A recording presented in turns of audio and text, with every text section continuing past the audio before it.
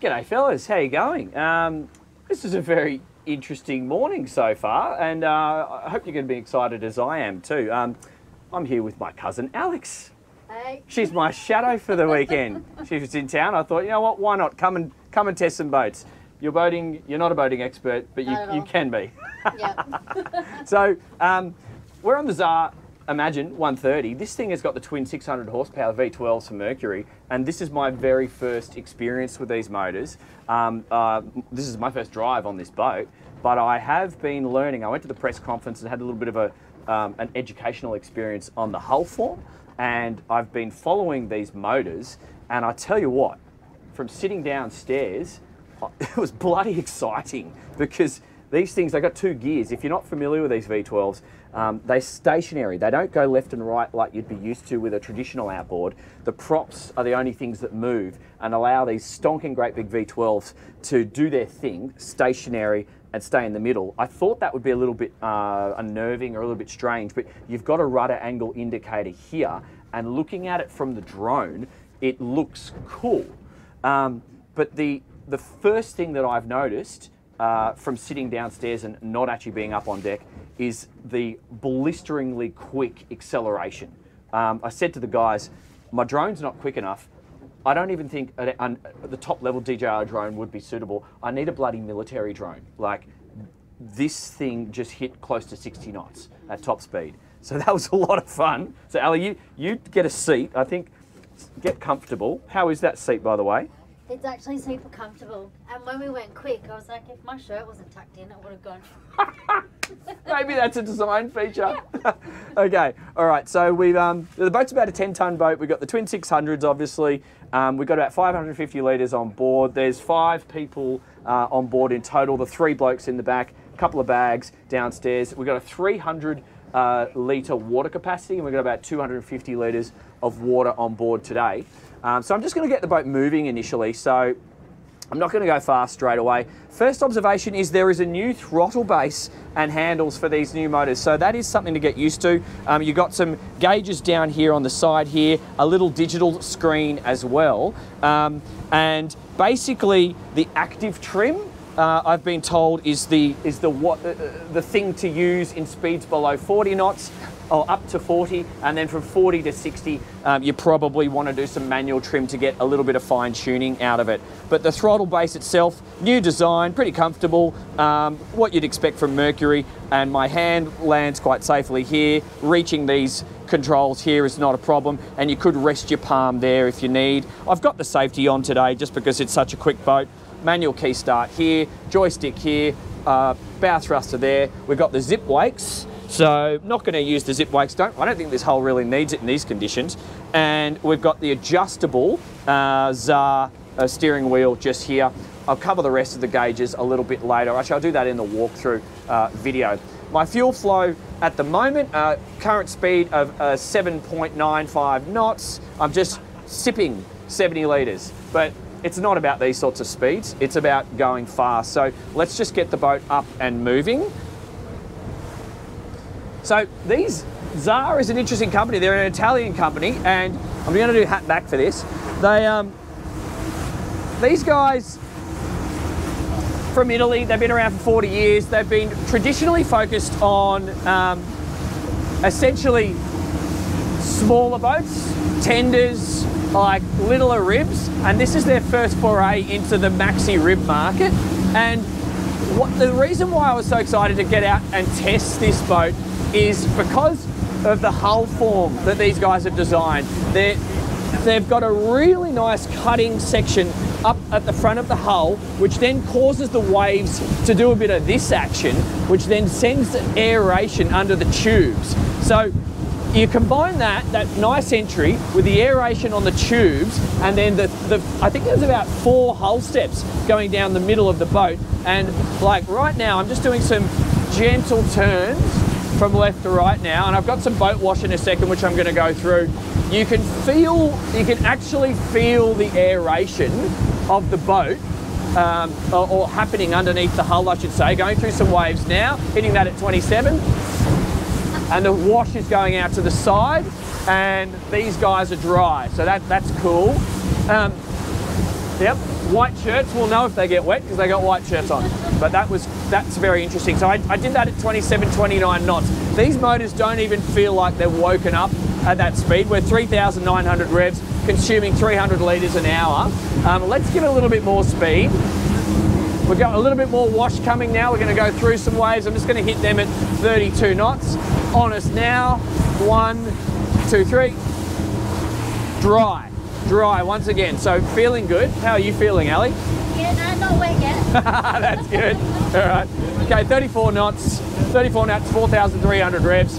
Um, I think we just let's just give the boat a little bit more juice. This is too fun not to. So, whoa, I can Oi, feel that. I can feel, whoa, whoa, I can feel that extra gear. I can feel it kick into gear. So that's just sitting at 5,400 revs and we're doing 47 knots. I've got more to play with. I'm gonna just go out of active trim.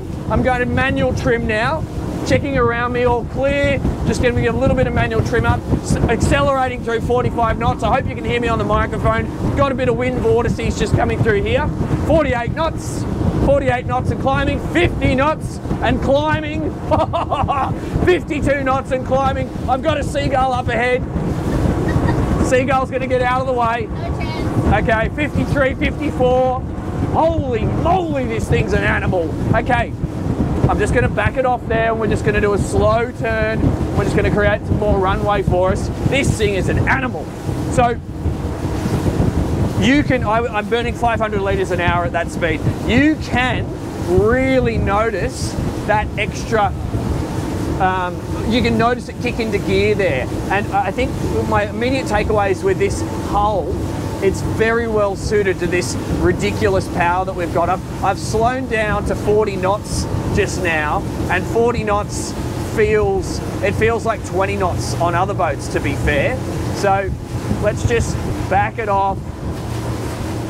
What I love about this style of hull, Ali, is like here we are in south of France. You got a town there, you got a castle there, another marina over there, at a bloody island with a castle and probably a coffee shop. There's so many things.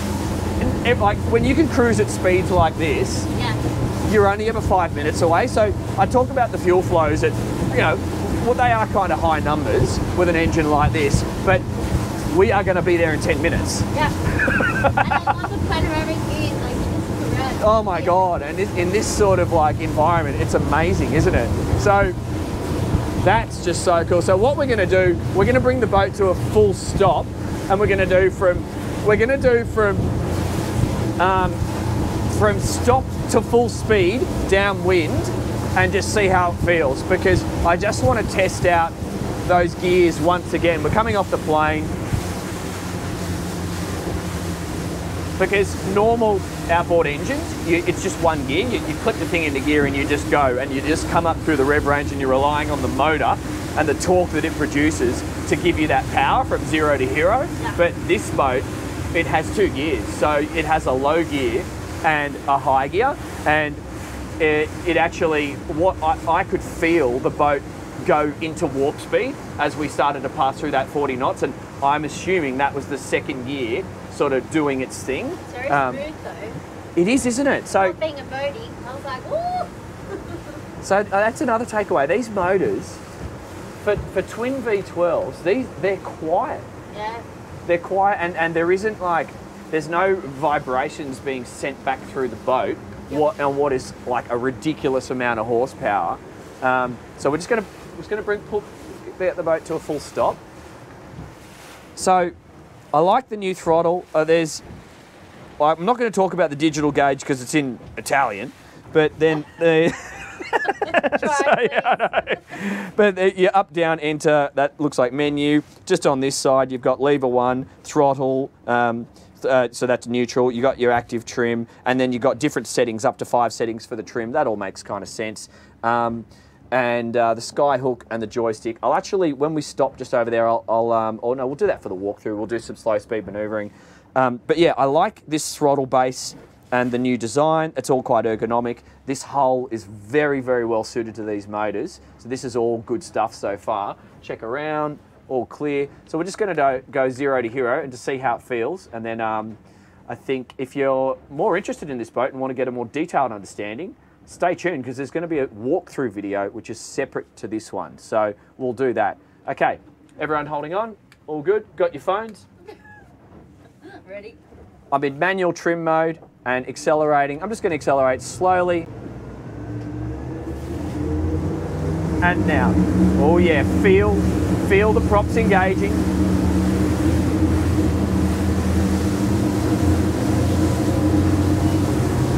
Okay, now I'm coming through. Oh, there's the there's the second gear. There's the second gear.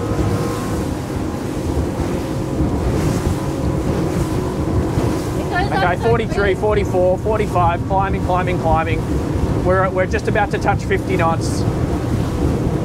50 and climbing. We've got a couple of waves. I'm going to go down the waves. Bang, bang, and back to full power. Incredibly good hull this. It's really doing its thing. Look at that, I'm going over a couple of waves there. I just feel in control. I feel like this is a hull you would take really confidently offshore. Okay, that's enough. We just hit 54 knots, not a problem. I've got more in the tank. So, you know, with a little bit of practice, you could increase that takeoff speeds. That's my first time doing it. I probably could have trimmed it down a little bit more. I think I, I think I had a little bit of trim up that time, and it's yeah, that's uh, that's fascinating. We got so much power. You can feel the props wanting to bite in that low end, but when they bite, the thing just starts to surge forward, and then you feel the second gear engage eventually, Yep. and it just does its thing. In seconds. it feels good. I could do that every day. That's good input, Ali. Thanks for that. I like that. So look, guys, um, we're about to go film a walkthrough video. This thing's quite fascinating. I, I, of all the maxi ribs, there's many maxi ribs out there, but ZAR differentiate themselves. Um, they differentiate themselves by this hull form, and that cutting bow entry really does give you um, a wider envelope to operate in. Th- They're only building these things in limited numbers, so if you're interested in a boat like this, basically you're going to have to get in touch with the guys because they're, they're not building a lot, so they're, they're going to be few and far between. And you do feel like a rock star when you pull into port, so I think that just goes to the territory when you buy something like this. Yeah, you Um, want to be stared at. So subscribe, leave us a like, um, give us a comment, tell me what you think about this boat. Um, if, you know, if I'll leave a link in the description for the other video, which is going to be the detailed walkthrough. If you like this content that I'm making, consider supporting my Patreon account. I make these videos for you. I don't take any, uh, you know, charge any money for the dealers or the factories for these. I just do it and I talk about it independently. Um, my name's Dan Jones. This has been Dan's Boat Life. I shall see you on the next one.